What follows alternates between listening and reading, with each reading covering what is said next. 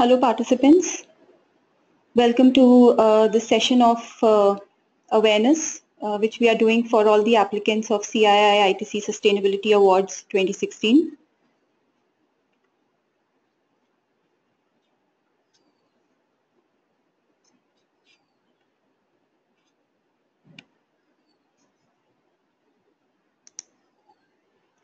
The objective of the webinar is to introduce you to the awards assessment process very briefly and then to take you through the online questionnaire and the various functionalities which are available in the online tool and this will be followed by question and answer sessions.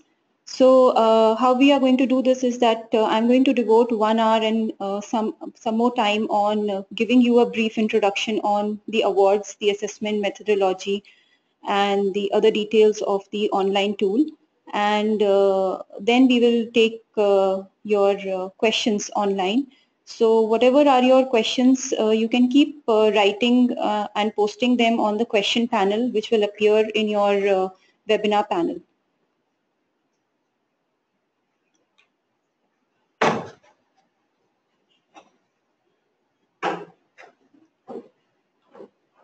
As you all know, awards category uh, broadly consists of two main uh, categories, which is corporate excellence and domain excellence.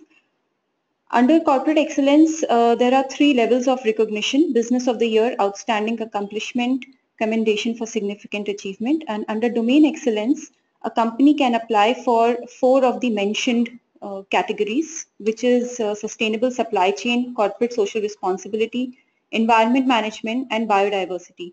Biodiversity is a new domain which we introduced in 2016.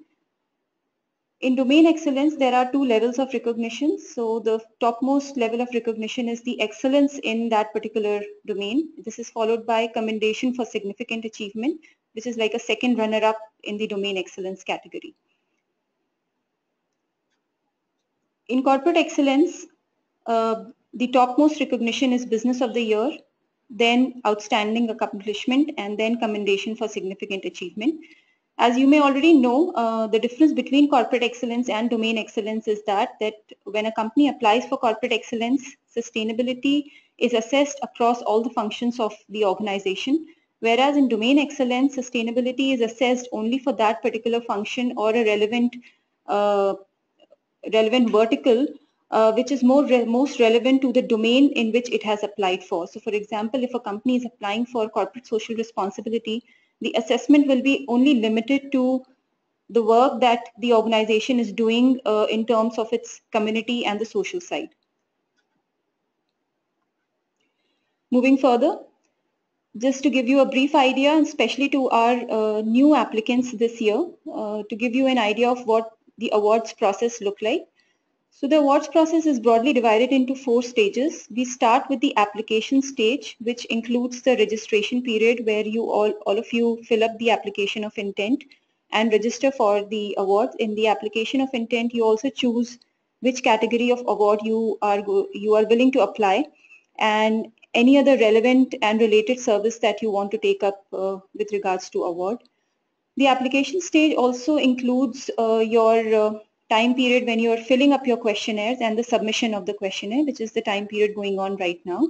And this is followed by the preliminary screening by the awards team.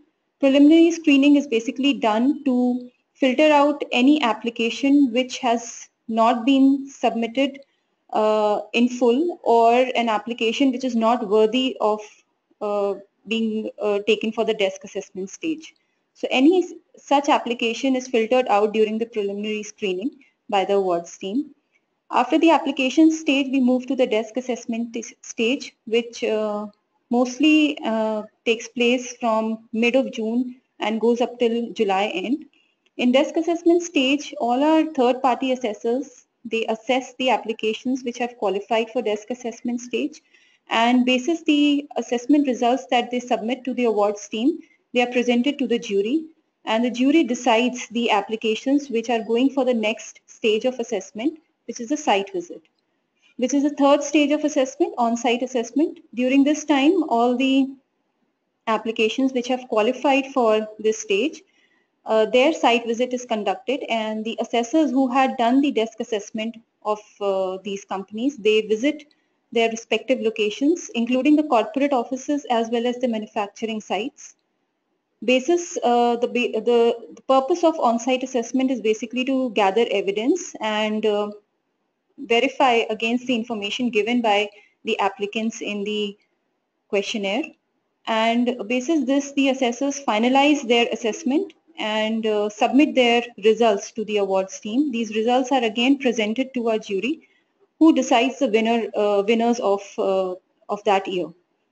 During this time, we also conduct assessor recognition survey where all our assessors who have participated in the assessment in a particular cycle, their feedback is taken both from the peer assessors as well as the applicants whom they have visited.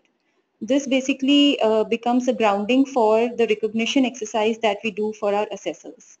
The last stage is the closure stage, which uh, includes the announcement of winners and the feedback report, which is given to all our applicants who participate in the awards process. The, uh, the, the award ceremony is scheduled for 5th of December this year. This is for your information. And the feedback report uh, process starts after the ceremony is concluded and uh, mostly feedback reports are shared in, uh, in, in January next year and that goes up till February 2017. We now move to, uh, to give you an idea on what, uh, what are the criteria which are taken in consideration for sustainability performance assessment. Uh, there are four layers to the performance assessment. We first start with the sustainable excellence model. To this, uh, there are aspects which are assessed and finally there is a scoring logic. First, to give you a brief uh, overview of what does the sustainability excellence model look like. So when a company is assessed uh, by our assessors, there are three verticals or three pillars that are taken in consideration. The enablers, results, learning and review. Here I would like to give you an idea that the sustainability excellence model is an adaptation of EFQM, business excellence model. EFQM is European Foundation for Quality Management, which stands for business excellence assessment for the organizations. And this model has been adapted from uh, the business excellence model. So here you would see that the pillars of excellence are same as what uh, are there in the business excellence model. Enablers basically look at those uh, side of the company which are where the organization is taking steps uh, to reach a particular goal or targets it has set for itself and hence enablers include uh, components of leadership. How is the leadership in the organization driving the uh, the company towards achieving its goals and targets? How is it engaging with its internal as well as external stakeholders? What are the partnership models? uh, how is it mobilizing its key resources towards achieving its uh, results. Now these key resources includes uh, financial as well as infrastructural, technological, all the kind of key resources that the organization has put into place. And finally the processes. So how institutionalized and systematic processes the, that the organization has in place to achieve its results. All the questions that you will see in your questionnaire are formulated around this entire framework. So you will see there are questions related to processes in each of the aspects. There are questions related to leadership. There are questions related to partnerships and engagement with internal and external stakeholders as well as mobilization of resources. On the, uh, on the results side, we basically look at what are the results that the organization has achieved, whether the results achieved are uh, as per the planned results or the organization has overachieved or underachieved those results? What are the trends? So in most of the result questions, we are asking for trend questions. We don't ask for a particular year or only one year figures because assessment on result basically looks at the trends and how the organization has fared on those trends. The results uh, includes the financial performance results as well as all the other related results. So for example, uh, results of engagement with your internal as well as external stakeholders, results of uh, uh, on the environment domain, results on supply chain, all of those results will also take, be taken in consideration in the result pillar of the excellence model. In the learning and innovation or learning and review, we uh, basically look at how is the organization learning from its existing processes and how is it improvising or making improvements or innovations in order to improve its entire performance. As you can see, this arrow is coming out from results and going towards enablers. So this is like a, this basically is closing the loop of the excellence model that until unless uh, the organization challenges its status quo, it will not be able to further improve or create new threshold or benchmarks for itself. So you will see that there are questions or indicators regarding learning and review as well on all the aspects. Just to give you a broad idea, when we are looking at the sustainability excellence model, equal weight is given to enablers as well as results. So there is a 50% weight which is allocated to enablers side of the organization and 50% weight which is allocated to the results side of the organization. Within enablers and results, there is a further allocation of weights which uh, is displayed here. These details you can also find in the guidance document which is readily available on the link which is uh, available on the instructions page of your questionnaire. If you want to gather more details on each of these attributes. You can always read the guidance document which give a more detailed description of each of these attributes which are mentioned here. Now, as you have seen in the previous slide, the second layer of assessment is the aspect. Aspect basic broadly means what are the key areas around which the organization's performance is assessed. When an organization is applying for corporate excellence, its performance is assessed across 15 aspects. So all these aspects starting from F1 and going up till F15, all these aspects will be assessed if an organization has applied for corporate excellence category of the awards. If an organization has applied for any of the domains, then the relevant domain excellence category will apply. So for example, if uh, the application is for corporate social responsibility, the organization will only be required to fill the CSR aspect of, uh, of this framework. In supply chain, only supply chain aspect will matter. In environment management, two aspects will matter, product responsibility and environment management. And in biodiversity, only biodiversity aspect will be uh, given for you to give your details on. Compliance to regulation is a common aspect across uh, corporate excellence as well as domain excellence and hence you will see this uh, as uh, available to you uh, for either of the categories. Uh, an important point here is that compliance to regulation is a context building aspect. It is not scored. It is basically Uh, to help uh, our assessors understand what are the regulations which are applicable to the organization specifically related to its sector and hence this aspect is not scored. All the other aspects from F1 to F15 are the aspects on which the scoring takes place.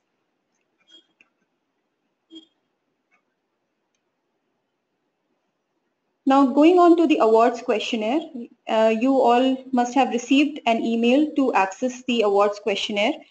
Uh, just to give you a broad point here, the awards questionnaire can be used and can be accessed by multiple people in your organization. So this mail that you have received in your inboxes for, uh, several days ago, you can forward this email to all your respective colleagues who will be involved in filling up the awards questionnaire and by clicking on the link which is mentioned here, multiple people can fill up the awards questionnaire at the same time. When you click on uh, the awards questionnaire, you are basically taken to the instructions page. Instruction page has uh, mainly uh, all the main instruction points which you as an applicant have to take in consideration. Please do not skip the instruction page. Go through each and every point. It is important for you and for your understanding of the awards questionnaire. I'll also show you the live instructions page.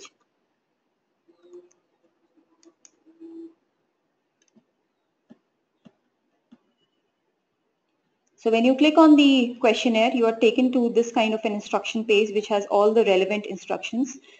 Uh, the important point which I wanted to highlight uh, uh, for all of you is to go through the guidance document. Its link is available on the instructions page. You can download the guidance document and keep it ready for your reference anytime while you're filling up the questionnaire.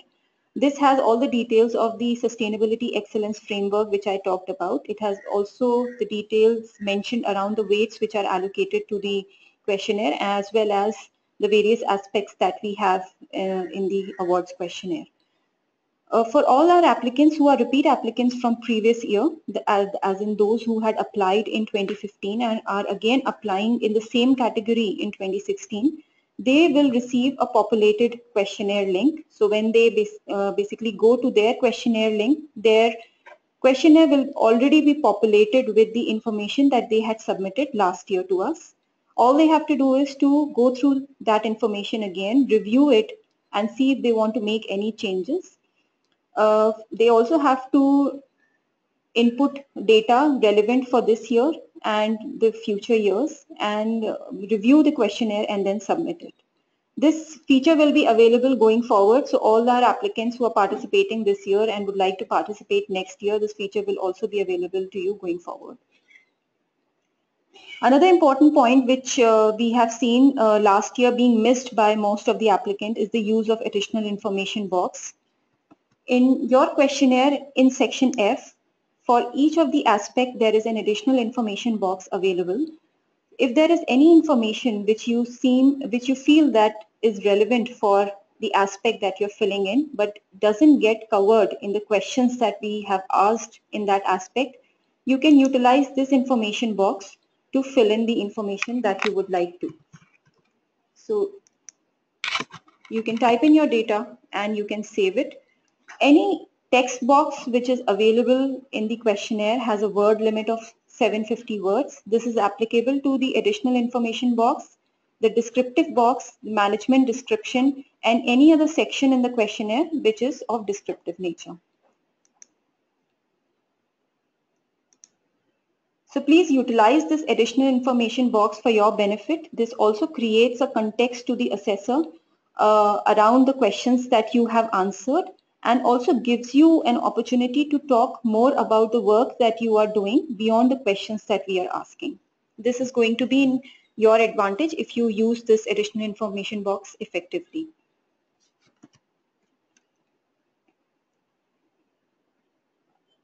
As you can see, there are uh, several sections here, uh, or each of these sections has a different role. The most important point for you here is that section B is a section of statement of authenticity and note of approval. Please fill this section after you have filled up the entire questionnaire, reviewed it, or your senior management has to review it. They have done the review. Only then uh, put your comments and put your details here because once you save this information, it will not be changed. And also the purpose of this section is that you have read and you have filled up the information and it is true to the nature of the company and you're giving your approval on it. So it is suggested that you fill up this section only in the end, just before you're making a submission of your questionnaire.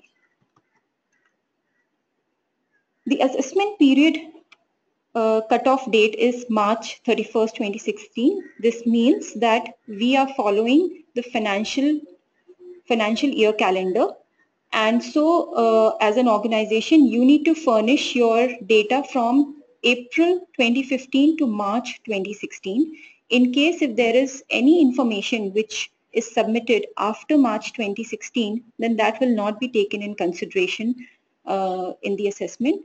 If uh, your company follows calendar year instead of financial year, then that can be taken in consideration provided you put a comment in the additional information box in the beginning and let the assessors know that the calendar year is being followed in the organization.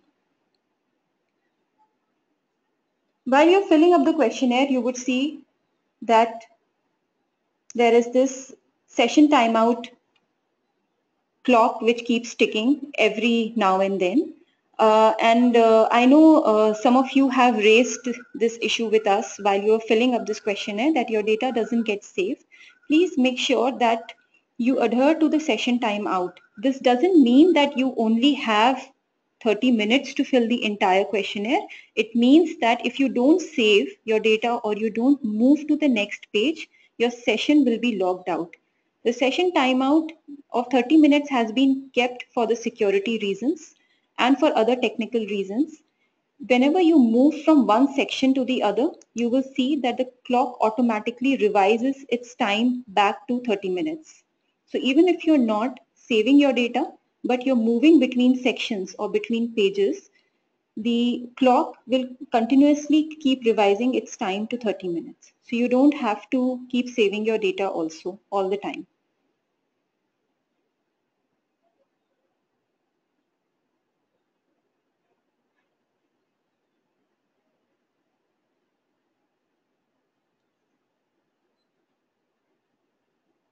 Okay, I'll just come back to this page. Uh, moving further on the next point, there is also a functionality available this year for mark for review option. Now this functionality is available in section F and against each question that you will see in section F. The purpose of this functionality is that if there is any question which you have started writing but you still want to come back to this question for a revisit or for a review, you can mark this question as mark for review and this will keep showing as mark for review and will not be accepted as an answered answer by the tool until unless you uncheck this functionality. So once you have revisited it and reviewed it and finalized it and saved it, then the tool will uh, mark it as answered and then you can submit your questionnaire. But if there are any questions that you want to save for later changes, then you please utilize this functionality. Between when the questionnaire is being filled by multiple people, this functionality can again be used by uh, your colleagues. And if a reference has to be given by another colleague, please mark it for review. So and you can always tell the question number to your colleagues uh, that in a particular aspect, certain question is marked for your review. Please look at it, answer it, and complete it. That way also mark for review can be utilized. As you can see, we are back on the tool and you can see the, uh, the clock has revised itself to 30 minutes. So every time, as I was mentioning, you move from one page to the other or between sections, the clock keeps revising its time to 30 minutes. It is important that you keep saving your work because the tool is not equipped with auto-save feature and hence it is important that a manual saving is uh, done every time you have inputted any information or before you close your page. So please keep saving the uh, information manually. We were facing some technical problems last week and some applicants have reported that technical uh, issues. Uh, we apologize for uh, those issues. Uh, there were some technical issues that were cropping up on our server. We have overhauled the server on the weekend and uh, issues related to save and other uh, features have been resolved. Hopefully, we are not going to face uh, these issues again in future. Last but not the least, we have also introduced the application preview functionality this year. So this functionality will again be available on the last page, which is the review and submit page, and again will get activated only after you have submitted the entire sorry, filled the entire questionnaire. Before that time, you will not see the application preview button at all. Once your questionnaire is fully filled up, you will automatically see two buttons. One will be of application preview and the second button will be of submit questionnaire. So before you submit your questionnaire, you can uh, click on application preview button. It will take you through uh, to an online PDF. You can download your PDF for future references or to circulate it within your organization for any final approvals or any last minute changes. And basis that, any changes that you want to make, you can make in the questionnaire and then you can submit your questionnaire.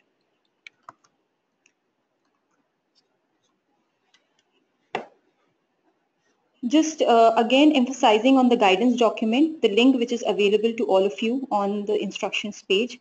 Please go through the guidance document once to understand the assessment. This will also help you in framing answers to the descriptive questions uh, which are available in each of the aspects. Uh, please frame your answers understanding the sustainability excellence framework that we have in place and for that, you can always refer to the guidance document to get more details on each and every attribute.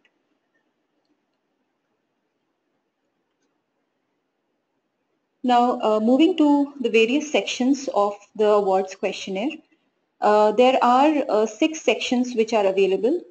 Starting from section A, section A is your registration information.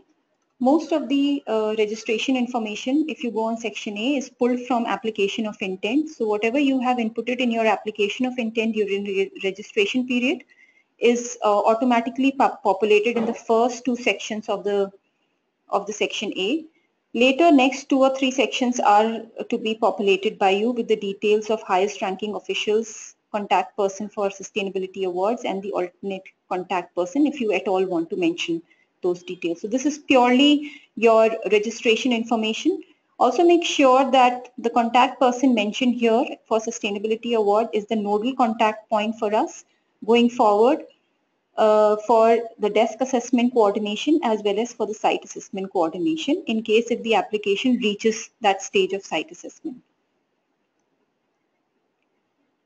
Section B I have already explained. Moving to section C. Section C um, is an important section from the point of view of setting the context of the company.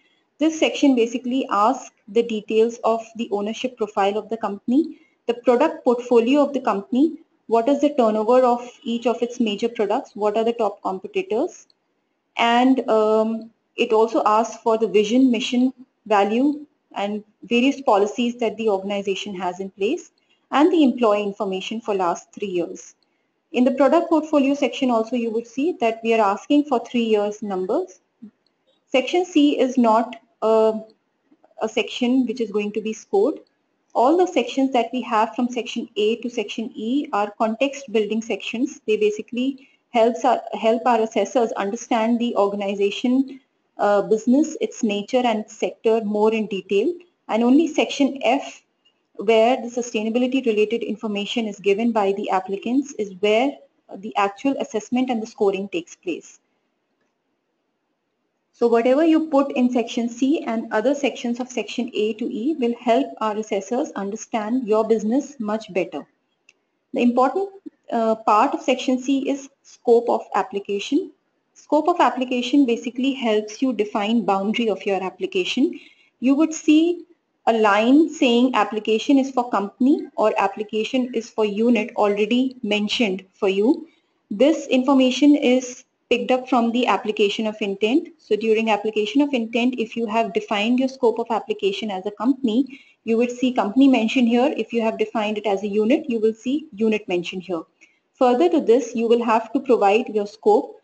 So if your scope um, uh, basically means that you're defining uh, boundaries, uh, which means that if your application is for a unit and one single unit has applied for, um, for assessment, then you need to mention the relevant activities of that unit and what is the location of that unit as a where geographical location of that unit. If it is for a company and there are multiple units or uh, multiple businesses which are involved, you will accordingly have to mention the broad activities and the broad locations uh, around which the assessment will take place.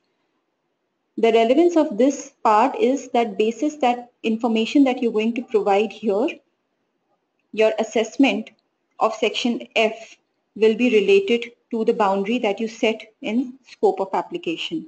Also, if your company qualifies for site assessment stage, then basis the major location and the geographies that you have mentioned in this um, section, that will define that where exactly the site visit is going to take place. That is decided by the team of assessors. Section D is management description section. For our repeat applicants, uh, you would remember that this was an executive summary section. So till last year, we uh, section D was an executive summary section that has been replaced by management description. The relevance of management description is important because we want uh, our, our applicants to basically state that how they are managing their sustainability risks and challenges what are the future plans of uh, the management going forward uh, in terms of mitigation of those risks and in, and in terms of the opportunities uh, that they have identified.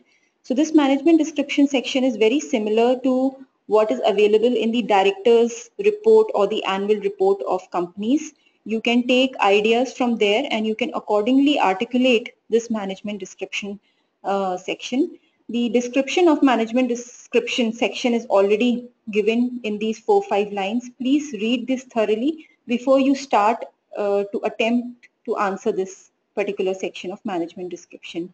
From the purpose of assessment, whatever you write here will help our assessors understand the key sustainability risks and challenges which are important to the sector of your organization. Uh, that is the main idea behind management description. And what are the strategies or mitigation plans that the organization has in place to uh, deal with those identified sustainability risks and challenges. The next section is uh, the section on terminology and abbreviation. In the entire questionnaire, if you're using any terms or any abbreviations, you can give their explanation in, uh, in this table. You can keep adding more rows here and you can always, uh, wherever there, there are table questions available in section E or in section C, the add more row functionality is available against all such kind of tables. So please utilize them. There are maximum 10 rows that can be added to this table. This is now followed by section F.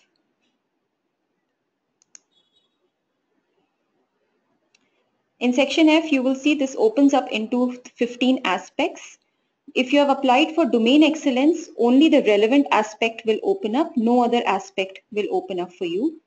Uh, as you can see, against each of these aspects, there are questions and each aspect, uh, so for example, corporate governance has around 30 questions. You can move within corporate governance by using the pagination feature that we have.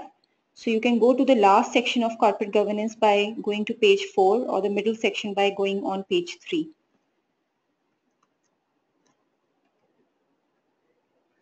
Before I uh, take you through the details of section F, there are a few points which I want to highlight again. Uh, when you're filling up the questionnaire, you can choose to uh, start from any section you may want to. There is no uh, flow, so it's not necessary that you can move to section C only after you have answered section A. However, it is suggested that you start answering the question from section A. That will also help you in linking uh, and creating interlinkages within the questionnaire. Wherever there is an asterisk marked in red, that particular question or that particular section is mandatory in section A to E. Section F is a mandatory section and all the questions which are there in section F have to be mandatorily answered by the applicant. If you are saving your page and um, if there is any question which is left unanswered, tool will automatically highlight that question that has been left unanswered and you cannot move or proceed to the next page until unless you have answered that question. However, for the sake of uh, movement from one section to the other, if you don't want to answer that particular question at that time, you can move to the next section instead of moving to the next page or you can always keep that question as mark for review by utilizing that feature and then the response will get saved. As I've already mentioned, please use the additional information box to your benefit and provide information wherever you are doing more work and want to highlight something which is not captured by the questions in that particular aspect. Additional information box is not mandatory to answer. So if you have not no additional information that you want to provide, you can always leave the additional information box blank. Again, uh, the word limit against all the descriptive questions uh, and uh, the additional information box is 750 words.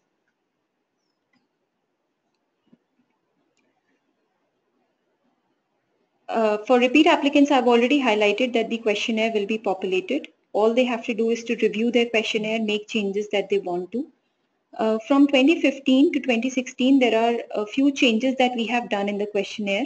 One major change is that we have included five year future uh, trends.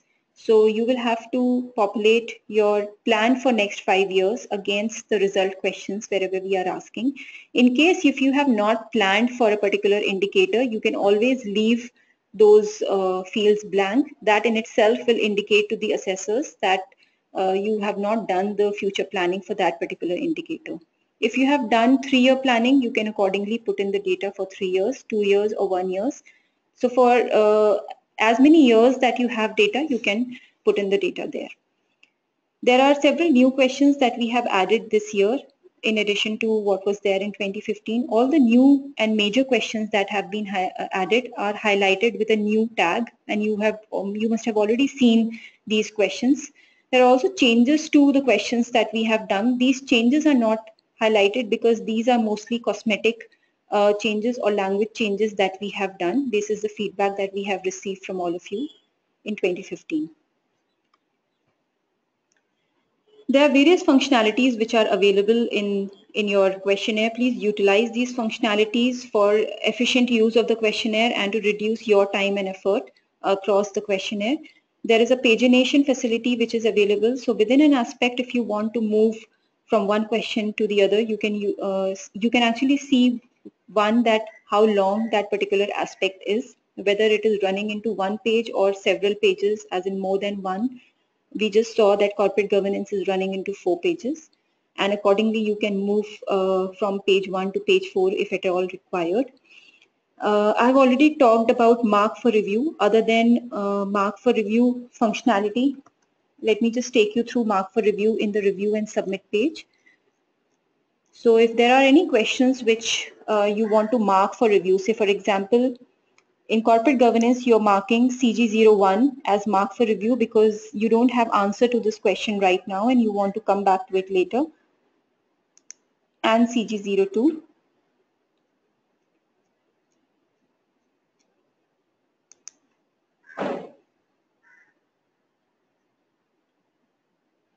You can save your work whatever you have filled up.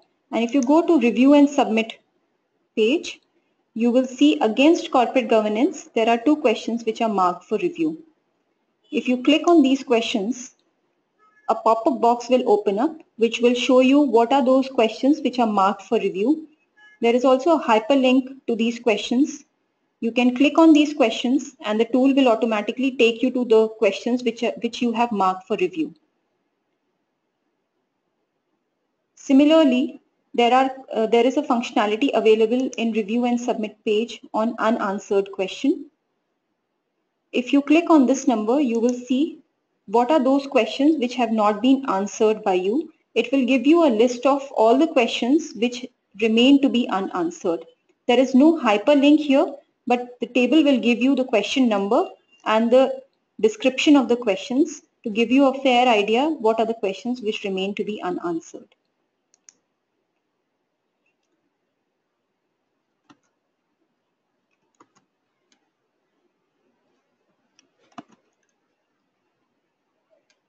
Moving on uh, to sustainability aspects and uh, to give you an idea of what is included in each of the aspect, beginning with corporate governance.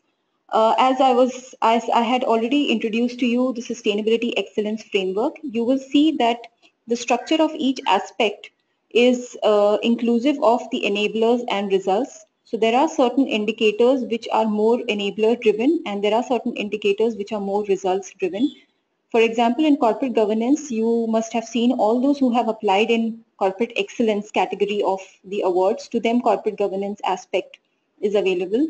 So under enablers, we ask for indicators like what is the governance structure of the organization, what are the gender diversity uh, processes that the organization has taken in consideration. It also asks for the details on board level committees and the functions that it is undertaking if there is a board level sustainability committee at all. And on the results side, we are asking for the, the disclosures on corporate governance and on the boards or the senior management involvement in the review of sustainability performance. There are certain questions in corporate governance which were reflected last year on uh, sustainability risks and challenges. That have been moved from corporate governance to risk management and additional questions regarding sustainability risks and challenges have also been added in the risk management aspect. Similarly, if I go to the next aspect, business ethics, business ethics basically looks at uh, what are the various code of conduct that the organization has in place uh, to deal with the issues of business ethics. What is the policy? Coverage means that does your business ethic apply only internally or externally as well? It also asks for uh, any dedicated person that you have employed as a business ethics and a compliance officer. Uh, what are the training mechanisms that the organization has in place? How are you communicating your policies and uh, your mechanisms around business ethics internally to your employees? And uh, the related question on result is that how many employees are trained on business ethics? Then we also have a question where we are asking that how's your senior management involvement on business ethics? Basically, we are asking that does the board have an oversight on the business ethic issues at all or not? And then on the results side, we are asking for details on uh, the cases reported and any issues reported against uh, the cases on, say, for example, corruption and bribery, human rights, health and safety, and so on. When we go to risk management, the risk management, uh, we are asking for um, if the organization has a framework in place for risk management. Uh, you would see that most, the structure of the aspect is similar across all the aspects. So we are beginning with the aspect with the process related questions. So our first question in most of the aspect is a policy related question or a process related question where we are asking that whether the applicant has a relevant policy for that aspect or a process for that aspect at all or not. And then we move on to uh, the other relevant process related question and then to results followed by the learning and review questions. So this structure is followed across all the aspects. Going back to risk management, um, there are indicators where we are asking for details on the risk identification, assessment and response. How is the organization assessing its uh, risk? If it is um, deploying any particular tools to identifying uh, risks, so for example, risk maps or sensitivity and stress testing. Then we are also asking that, uh, we are asking two main questions on business risk and sustainability risk. So uh, what are the top three long-term risks that the organization has identified for itself and the three sustainability risks that the organization has for itself. We are also asking for question on non-compliance. So if how is the organization identifying non-compliance uh, around risk management? And uh, the process of non-compliance has to be given in detail. On key resources, we are asking for details on the deployment of a dedicated person uh, for risk management. We are also asking for uh, details on the investment that the organization has made to the to deal with the identified risks. We have introduced questions which are asking for details on risk culture. So what are the strategies that the organization has in place to uh, enhance an effective risk culture in the organization? Finally, on the results side, we are asking for uh, the number of cases of non-compliance that the organization has experienced in last five years. And on learning and innovation, we are asking for details on the process that uh, the organization has in place to measure the effectiveness of risk management.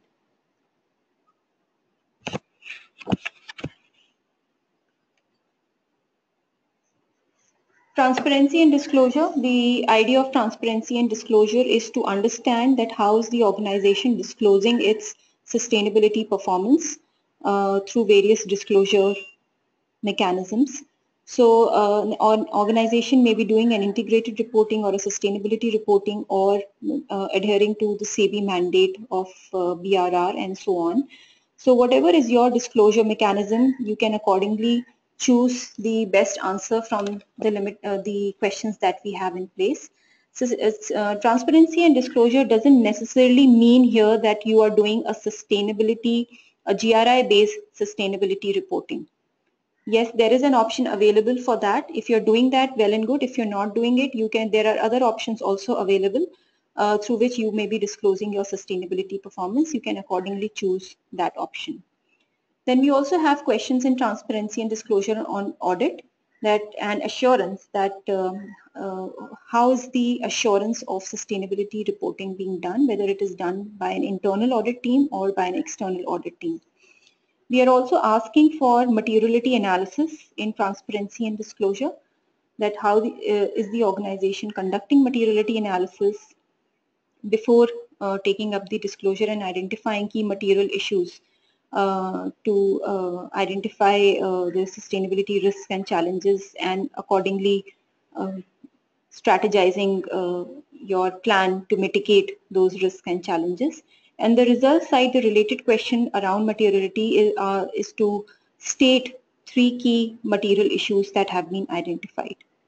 We also have a question on coverage of your sustainability report. Coverage here means the operational coverage of the report. So for example, if you have uh, if you have applied for a company and you have 10 manufacturing sites and you're disclosing your information only in your sustainability report or in your disclosure only for five manufacturing sites, then your uh, coverage is 50%.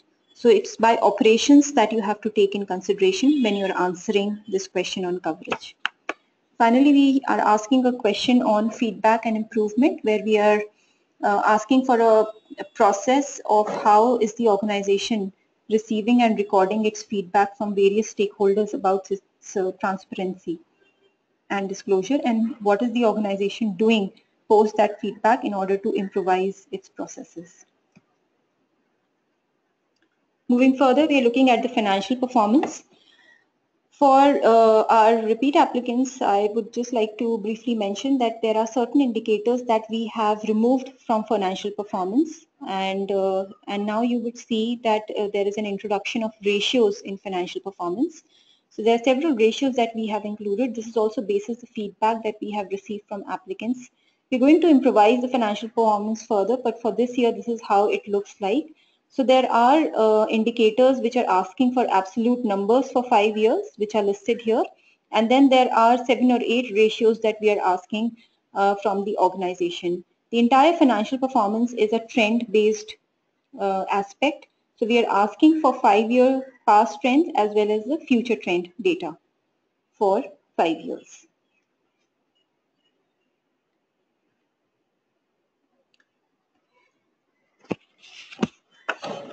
The next aspect is employee development. Here, uh, the focus is on uh, how is the organization engaging with its employees, what are the various training and capacity building mechanisms and initiatives that the organization has in place to, uh, to develop its employees. We are also asking for performance evaluation information the reason for asking for performance evaluation is because a lot of training needs and capacity building needs are identified during performance evaluation. So it's important to know that uh, what is the mechanism of performance evaluation, whether there is a 360 degree uh, performance evaluation taking place or peer-to-peer -peer performance evaluation taking place, because that builds a grounding for the identification of further employee development needs. Again, uh, on the leadership side, we are asking for questions which uh, basically looks at the top management involvement uh, in employee development process, that how is the top management reviewing and monitoring the effectiveness of employee development practices. On the results side, we're asking for what are the types and scope and coverage of training programs. Types doesn't necessarily need to include uh, specific sustainability related training because we are not looking at that. Any kind of training which goes beyond on the job training for employees is going to build the skills and capacity of an employee and will also lead to effective work management. All those kind of trainings can be included in, in this question where we are asking for type and scope of training. Scope of training basically means that at what, what which is the level of, uh, of your employees who are being trained for this particular type of training. Then we are also asking for the results of uh, employee surveys and the performance evaluation surveys. Stakeholder engagement basically uh, looks at the engagement mechanisms that the organization has in place to engage with its stakeholders beyond employees. So all your other stakeholders like your customers, your investors, community, government, NGO or any other relevant stakeholder, how, I, how as an organization you are engaging with them, what is your process of first of all identification of your stakeholders, prioritization of stakeholders and uh, engagement method. We have a question, a table, tabular question where we are asking for uh, details on what are the mechanisms of engagement, what is an outcome and what is the benefit derived. Uh, please include the relevant stakeholders there. If any stakeholder is missing from the list which is mentioned there, you can always include it in others. And in your additional information box, you can give an indication of this question and mention that what does others include for this particular question. We, uh, in stakeholder engagement, we are looking at two kinds of surveys uh, and we're asking that what is the frequency of these surveys, employee satisfaction surveys as well as customer satisfaction surveys and the related result questions on the survey results uh, is being asked later in the same aspect. We are also um, asking about uh, the key concerns that the stakeholders have raised in last one year and how has the organization responded to them uh, and what are the corrective measures and actions that the organization has taken to against these key concerns and key topics.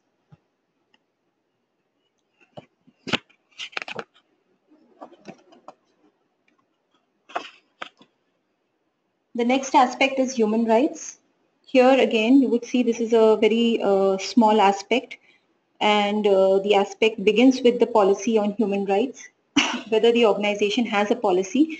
It's not necessary that the organization has a policy on human rights. It may be included uh, in either code of conduct or in some or the other manner. If that is so, you can accordingly choose the relevant options mentioned in the answer options and give the details of uh, where this policy is mentioned.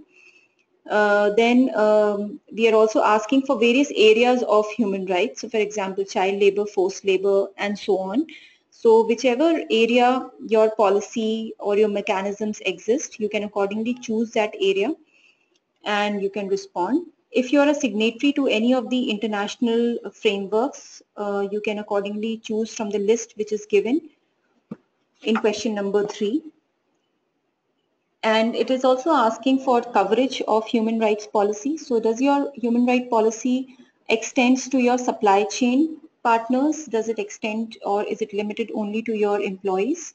Uh, does it also go uh, to your partnership uh, or joint ventures or your NGOs? You can accordingly choose the answer to whomsoever it may apply. On the leadership side, we are asking for how's, what is the top management oversight on human rights and what is that approach of maintaining an oversight on human rights issues. We are also asking, on the results side, we are asking for the cases that uh, may have been reported against each of the human right area which is mentioned. And later we are also asking uh, for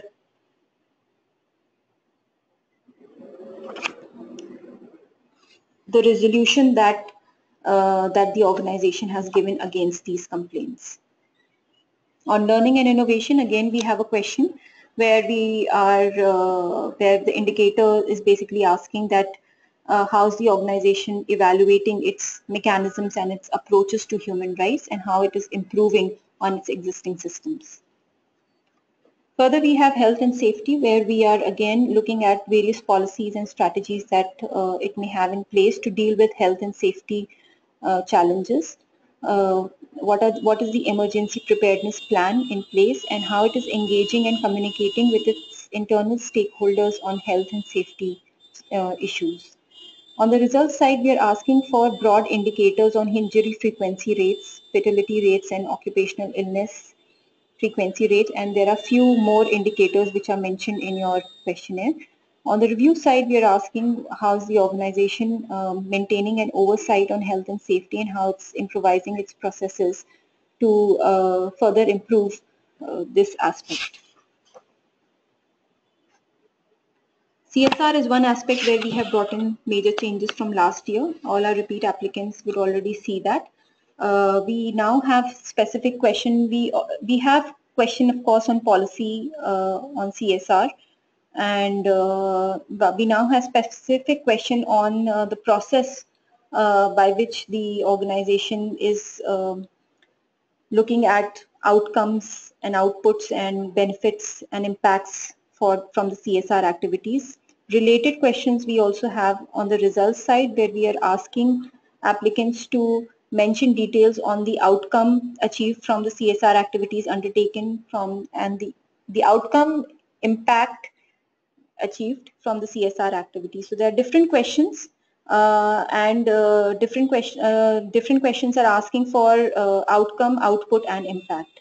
So please answer those questions understanding the definition of outcome, output and impact and uh, only then um, uh, the assessment uh, will be done or it will be a fair assessment for you. So don't um, confuse between outcome and impact.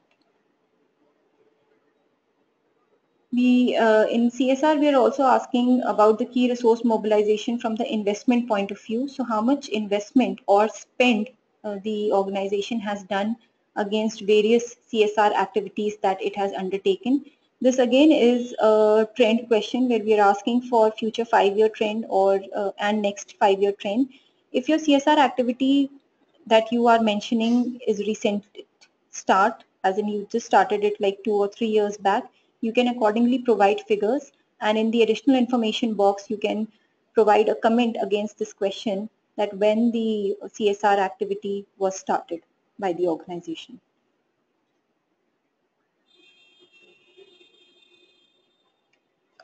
Moving on, then we have supply chain. This is a fairly big aspect and there are several new questions which we have added to the supply chain.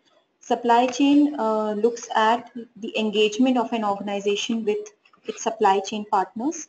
Here supply chain goes beyond the suppliers. So please ensure that the information that you provide and if an organization you are, you are working and engaging beyond your suppliers, you accordingly provide information.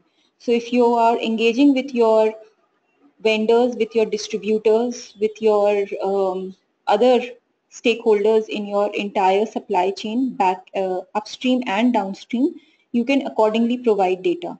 So the term supply chain doesn't mean that the information pertains only to suppliers.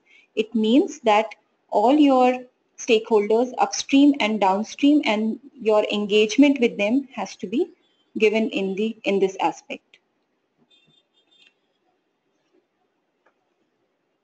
Now here again, uh, when we are asking for policy on supply chain, we are also asking for its coverage.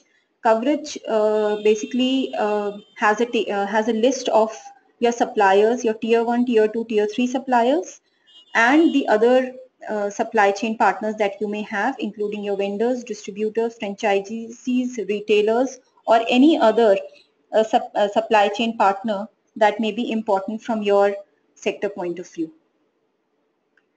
Then uh, we are asking that how, from the from the sustainability perspective, what are the issues that are covered in your supply chain? So whether there are environmental issues, uh, child labor issues, forced labor issues, and so on included in your supply chain at all or not.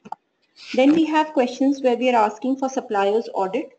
How are you auditing your suppliers? Uh, what is the frequency of audit? What is the target for audit? We are also looking at that as an organization, are you doing a capacity building uh, exercise for your supply chain partners? Are you engaging with them? Are you helping them uh, get accustomed to uh, sustainability and helping them uh, build a sustainable business. And if you have such initiatives, then you can illustrate and mention these initiatives in the relevant questions in the in this aspect. We are also asking for, again, from the key resources point of view, if you have a dedicated person looking after uh, supply chain, On the results side, we are looking at various sustainability goals that you have for your supply chain. So sustainability goals for your organization may be different for the goals that you have set for your supply chain. Please make sure that in this question you mention the goals that you have set for your supply chain. Uh, we are again asking for the capacity building coverage as in out of your entire supply chain um, universe what is the coverage as in how many you have covered and how many you intend to cover in next few years audit of supplier site how many you have done and again what is the future forecast and finally the review question where we are asking that uh, how is how as an organization you're reviewing your mechanisms towards engagement with your supply chain and how you're improvising. In supply chain again, we have a lot of additional questions which we have included this year. Uh, they are all tagged with a new tag uh, on the right hand side against these questions. For repeat applicants, these questions are not populated. They will appear as blank questions. Product responsibility is an extension of environment management. Here we are asking for uh, the commitment to sustainable products. We also we also have questions on life cycle analysis and um, uh, the result of life cycle analysis. We have questions on non-compliance and customer complaints and health and safety impacts of uh, the products that the organization has in place.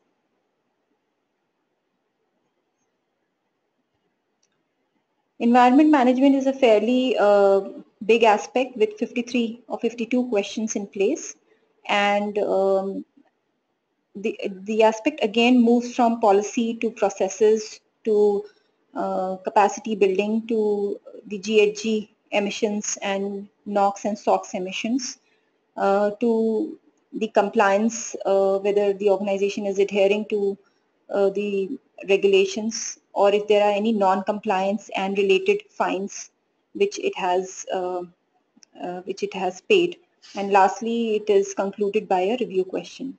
Now, uh, across all these aspects, one important point is that if there are any indicators which are not applicable to you as an organization due to the nature of your business, you can utilize the not applicable option which is available against each of the questions so each question you will see that there is a not applicable option available. This is again an introduction that we have done in 2016. This was not available last year. Please provide a justification against the not applicable option. And this, justification will be assessed by the assessors. So uh, please ensure that if you're choosing not applicable, uh, you have to provide and justify the reason of not applicable with a description here if your justification for not applicable is correct, then this question will not be scored for you at all. That is, this will not be counted in the number of questions against which the scoring of your organization will take place. And hence, the justification that you provide in the descriptive box becomes very important.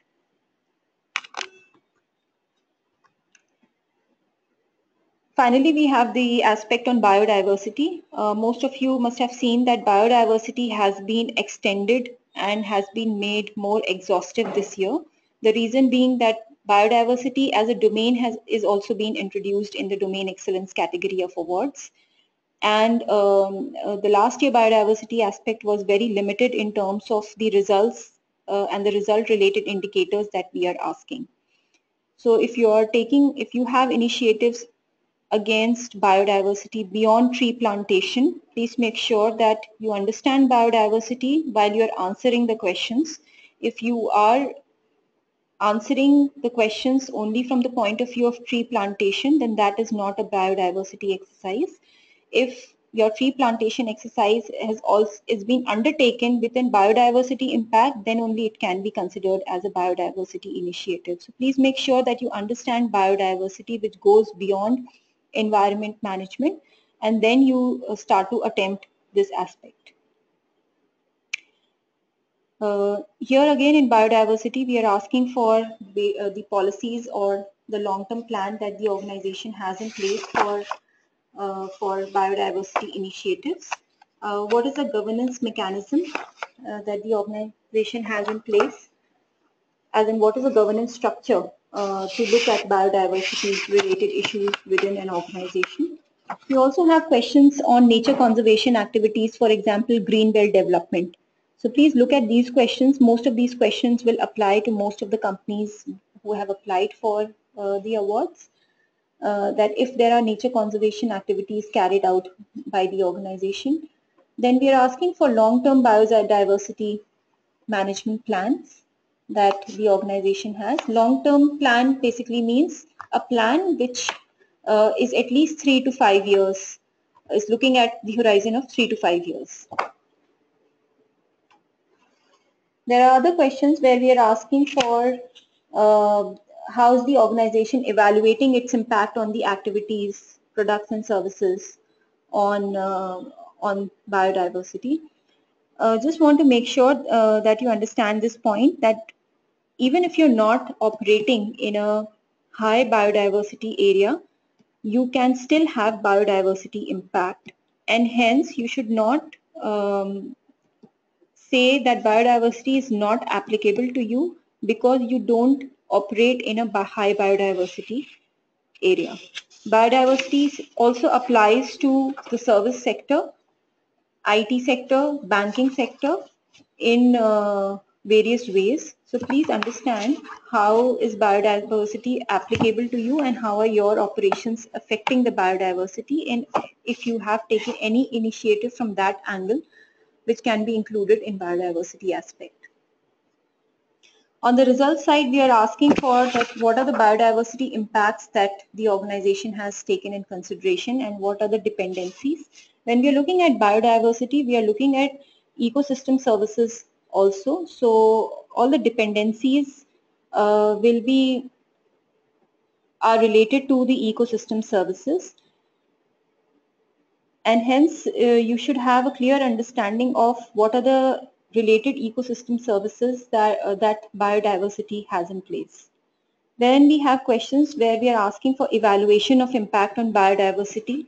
And finally, we are asking for what are the initiatives that are undertaken by the organization to improve its biodiversity. And then it is concluded by a learning and review question. This is followed by compliance to regulation, which is the last aspect. Compliance to regulation is, is divided into three uh, major sections, that is the economic regulations, environment regulations, and social regulations. So whichever, it's not uh, necessary that all that, that the entire list is applicable to you as an organization. Whichever is the um, uh, applicable regulation, you can take against that regulation.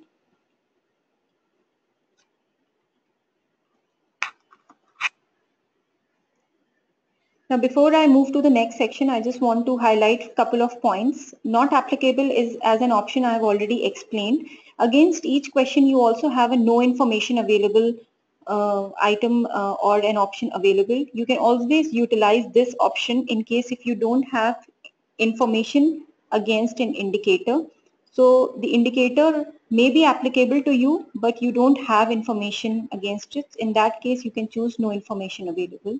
In case the indicator is not applicable to you because of the nature of the business, you can choose not applicable option and provide justified reasons here. After you have filled up the entire section F, you can move to review and submit page. Review and submit page is like a facilitation page for the applicants. This page gives you an idea of what is complete and what remains to be uh, completed from your end. So all the section, it gives you section wise information from section A to E.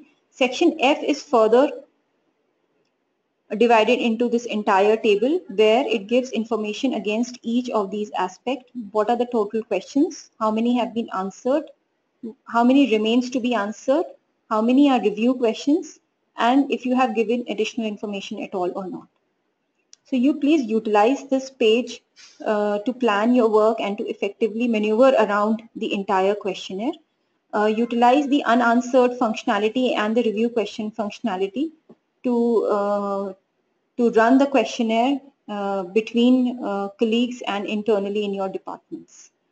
Finally, as you can see, there are two major points which are mentioned here in review and submit page that until unless you have not completed the entire questionnaire, you will not be able to submit your responses and also to review your questions as in the application preview functionality, you again have to complete the entire questionnaire. The moment your unanswered questions become zero and your review questions become zero, there will be two boxes which will appear at the bottom of this table, which will give you uh, the option of submit as well as to review your preview your application before you make a submission.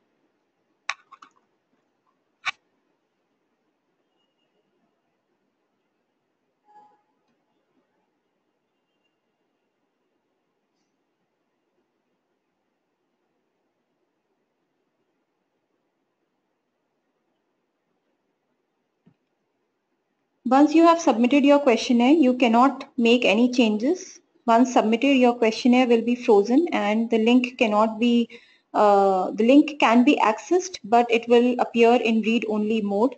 So you can come back to your questionnaire link through that email that uh, you had received.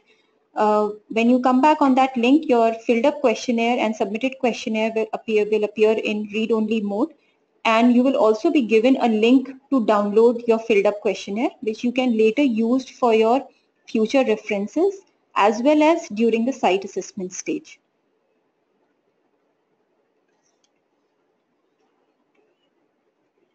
Just want to remind you that the last date to submit your questionnaires is 10th June and uh, in between if you have any queries or any questions beyond this webinar, you can always get in touch with the awards team and uh, you can also write into me at uh, swati.pandey at cii.in. I will now close the session and I will move on to the question and answers uh, from all of you. So uh, I will read out each and every uh, uh, the question that you have written in your panel and I will answer each question one by one.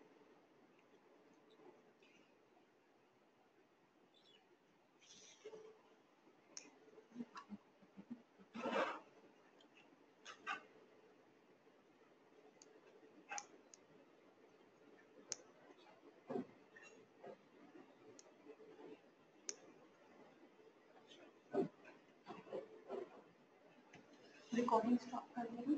Question and answer